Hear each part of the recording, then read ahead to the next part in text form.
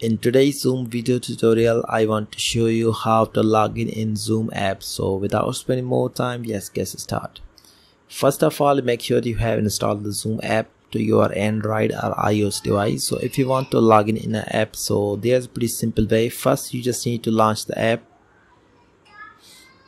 So here you'll be find guys the two options sign up and sign in. So if you have already uh, zoom account so you can simply tap on sign in and if you don't have this account so simply you can use the sign up option. But in this case i want to just show you how to log in in a zoom app. So first tap on the sign in.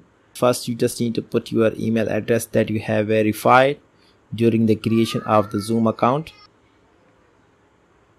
Now put your password here. So i want to type my zoom account password now tap on sign in.